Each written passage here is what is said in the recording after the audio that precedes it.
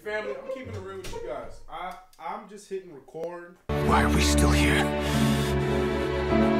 Just to suffer every night. I don't have a real subject for today's video.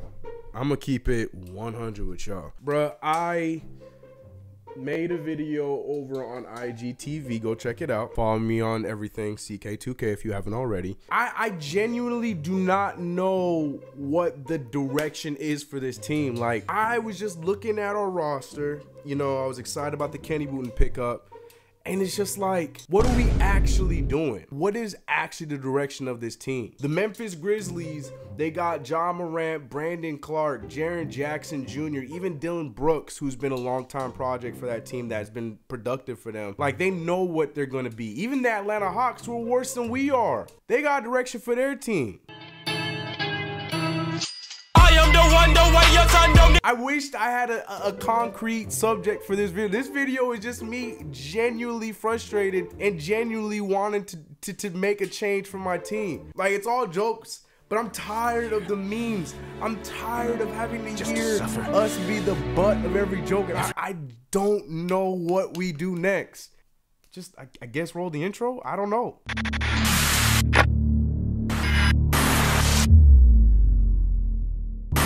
What's going on, CK Crucial Boy, CK2K, and welcome back to another video. Yes, elephant in the room, I've been sick, no video, blah, blah, blah. You guys don't care about that. But what I care about is if you guys make sure that you come through to this channel and you hit that subscribe button, hit that notification bell, and follow me on my socials. I'm CK2K everywhere. Facebook, Twitter, Instagram. I'm either uploading IGTVs. No TikTok. You ain't gonna get me on TikTok. Yeah, man, you know the deal. Go pick yourself the merch. Merch merch. Hold on. Sheesh. You see the new design? Yes, sir. The Mitchell Robinson future design. I am so happy with how these came out. Yeah, I- none of y'all been picking these things up. Link is in description below. There's a link on the channel. Go check out this merch. Like, I'm not playing with y'all, man. This merch is fire. Guys, the intro, I, that wasn't a joke. Like, I'm not here trying to clickbait you guys. Like honestly like if you want to click away from this video right now you're feel free. I get it. Because i genuinely do not know what the direction of the new york knicks is. You come to ck2k for optimism positive vibes talk you off a ledge man. Ck talk me off this ledge. Yo i need you guys to talk me off a ledge. I- i've looked at this roster and i genuinely don't know what direction we're going in. Like we can talk about and we're all saying the same things, you know, trade deadline, we need to do this, we need to make this move, make that move. But we're getting reports that Marcus Morris isn't even going to be moved because they don't want to move Marcus Morris. And honestly, cool, I guess that's fine. But are we going to move Bobby Portis? Are we going to get rid of cancers on the team like Alonzo Trier and Dennis Smith Jr.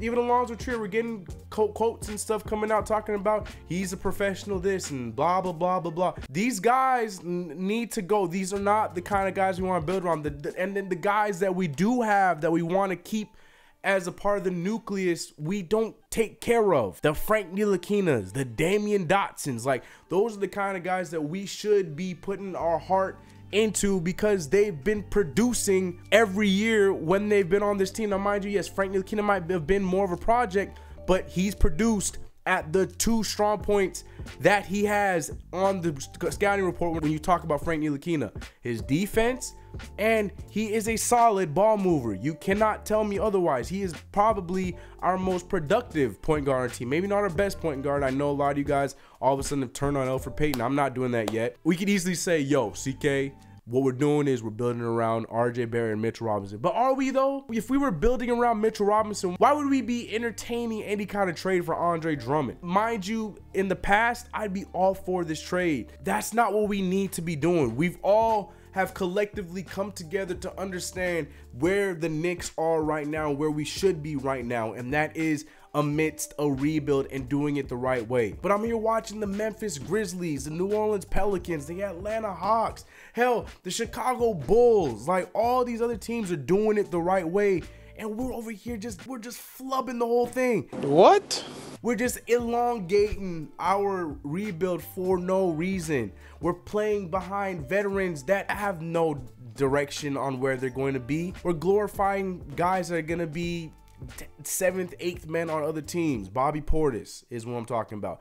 Hell, Julius Randle, I'm very happy to see what he's turning into. He's turned into the guy that we signed in the offseason. He is the definition of patience. And you know what? I would be fine with us keeping him the throughout the longevity of his contract. I'm fine with that. He's young in in itself. I would be fine seeing Julius Randle, RJ Barrett, Mitchell Robinson, Kevin Knox, uh, Frank Ntilikina, Damyean Dotson. Like I want to see these guys, Ignas Brazdeikis, now finally Kenny Wooten. Like I want to see these guys within the system. I'm seeing the Miami Heat building within their own organization and not forcing anything upon any other player.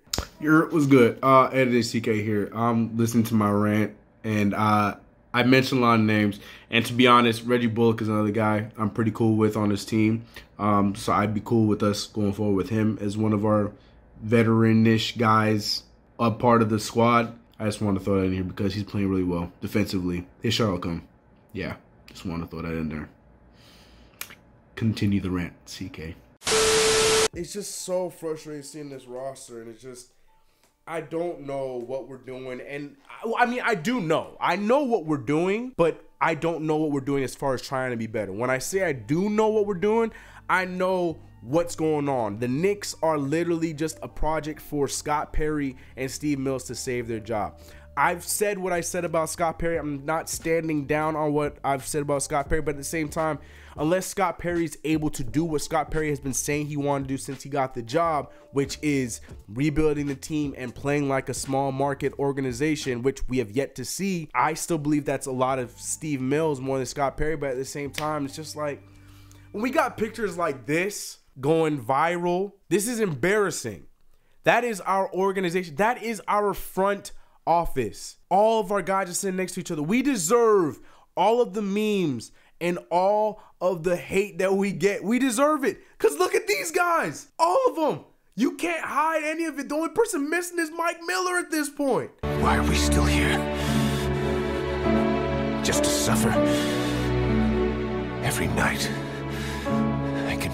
I, it's the beginning of another decade. It's 2020. This is officially my first video I am uploading within this new year. And I don't know where we're supposed to go. What is the plan? You tell me in the comment section below, what do you think the plan is? But now CK is gonna sit down and tell you what the plan should be. Let me hear what you guys guys say in the comment section below. But this is what the plan should be, okay? We have been in the draft for the last three years where we've been in the top 10, right? Or four years, five, who cares? From Chris Kristaps Porzingis down, who cares? It doesn't matter. The point of the matter is, of those draft pieces, we have Frank Ntilikina, uh, Kevin Knox, Damyean Dotson, uh, Mitchell Robinson, RJ Barrett, Ignas Brazdeikis. These are all pieces that we drafted. These are guys that are our own, okay? Then we got some diamonds in the rough in guys like um, Alonzo Trier, um, the same Iggy B, who I guess we traded for, but you know what I mean. We didn't technically draft him ourselves. We traded for him, but you know what I'm trying to say. You know what it is. Point of the matter is we are not that far off from these teams like the Memphis Grizzlies who were able to steal Brandon Clarke late on in the first round or these teams like the Atlanta Hawks that are that are breeding this John Collins kid who was just known to be a high flyer and is now turning into an overall power forward that a stretch power forward that can do almost anything at this point. He's not there yet, but he's still young, you know what I'm saying? All these other teams are building from within and doing so I mean, look at the same Miami Heat right now that got a a, a, a jolt in the right direction because of Jimmy Butler. You know what I'm saying? They ground bread. They turned Bam into who Bam is themselves throughout their own development same uh, him. Um, we can go to Kendrick Nunn. Uh, the biggest one is Duncan. That boy Duncan Robinson is a shooter that is bred from that organization. like the Knicks can do that. I don't believe our development team is as bad as we are making them out to be. It's just they're not allowed to develop the team. The Knicks are not allowed to develop their own team, and that is our problem. That is why we sit here and we get bashed the way we do because we are our own worst enemies. I said that. Like, we are our own worst enemies, and I don't want us to be our own worst enemies going into this decade. It is an easy fix, okay? We sign the players we sign. Okay, you sit back and you deal with what you deal with. Even if we don't move a Marcus Morris, the only players that we should be retaining from any kind of free agency is Marcus Morris and Julius Randle. If we got to keep Elfrid Payton, we keep Elfrid Payton, fine, but he needs to be coming off the bench. Elfrid Payton's still my guy. I still believe Elfrid Payton was a great signing. I know a lot of Knicks fans like to overblow how our point guards play because they're not young point guards that are offensive heavy. Mudiay got killed last year. Mudiay had the best year of his career. There's a reason why he's now on one of the hottest teams in the NBA right now. But nope, Knicks fans want to turn a blind eye because he didn't play defense on some possession. And Elfrid Payton's going through the same thing. Elfrid Payton's having a stretch of basketball where his assist to turnover ratio is out of this world. Excuse me. At the same time, yeah, his one-on-one defense is not the greatest, but the dude is top tier point guard that can steal the ball. But we're here trashing on him because he's not having those situations throughout an entire game. We like to nitpick on our point guard and stuff like that, which is fine. I get it. I get it. It's an impatient organization. That's we're, we're an impatient fan base. But at the same time, it's just like, man, we are getting our own way. It should be a simple situation like this. We trade the cancers.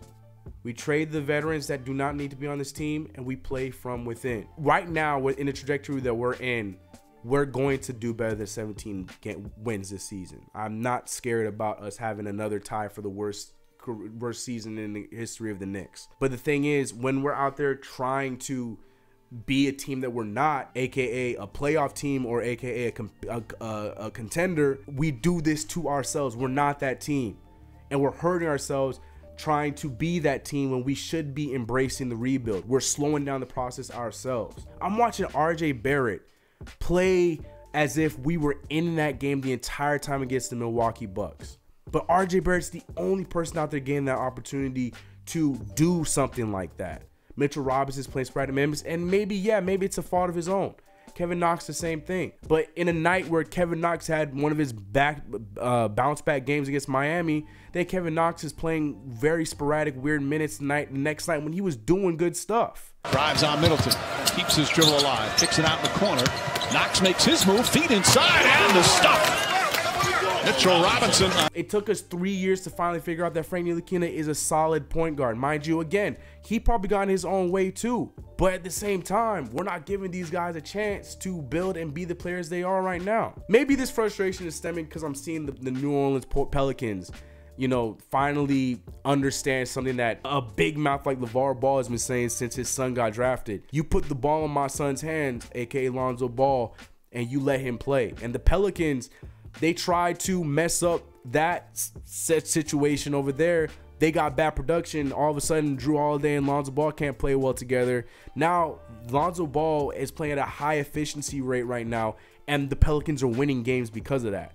Yes, Lonzo Ball is not having the 20 point games that everyone's expecting. I mean, mind you, he did have a stretch of that, but Lonzo Ball is playing at his pace and he's playing just as well as Brandon Ingram is, just not from the scoring level. He, he's a damn near triple double every night at this point now. The point of the matter is, these other teams are letting their guys develop and they're doing it the right way. And I'm just, we're here watching our Knicks, and you know what? I'm being as, I'm gonna continue to be as positive as I can be and we're here trying to root for our guys, but it's like we all know what we really want to see. And we, we really want to see us actually embrace the rebuild and do this the right way. So in 2024 and 2025, we're not still in this same position. Maybe in 2024, 2025, RJ Barrett's going off of his second or third All Star season and we're uh, maybe a playoff team, maybe not contending, but at least a playoff team that's within the top six in the playoff in the Eastern Conference. Your boy CK has not done one of these CK rants in a long time.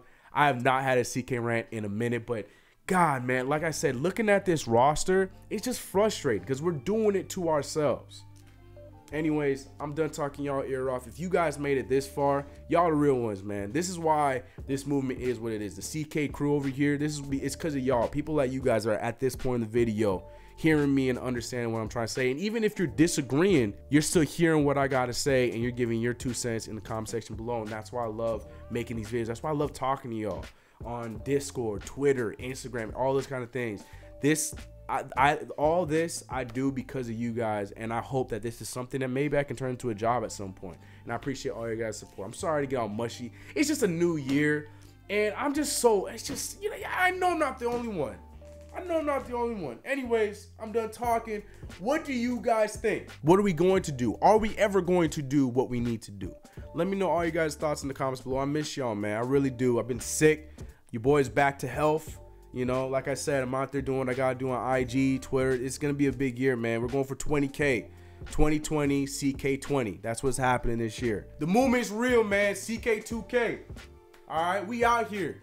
We could be the worst team in the league. The Knicks got the best social media squad in the game. From Knicks Fan TV, from Terry and Trey, from my boy Jay Ellis and the crew over at Nick of Time, from my boy Sim over at Nothing But Knicks and everybody. I'm probably leaving people out, but the, the, point of the matter is we got a great crew of people. And that's because we all got passion for this basketball team like a bunch of idiots. But the thing is, we got love and we got thoughts. And the thing is, you guys make us go around. I appreciate you guys. I'm done with the sappiness. I had to get this rant out of the way. Get it out of the way in the new year, beginning of the year. We back on track. Tonight, we play, who we play? We play the Phoenix Suns tonight. Maybe we could turn things around, get this dub tonight.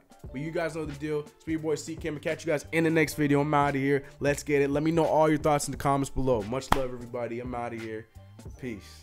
I see you guys. Had to get it out. Come on, Knicks. Feeling like I won the lotto.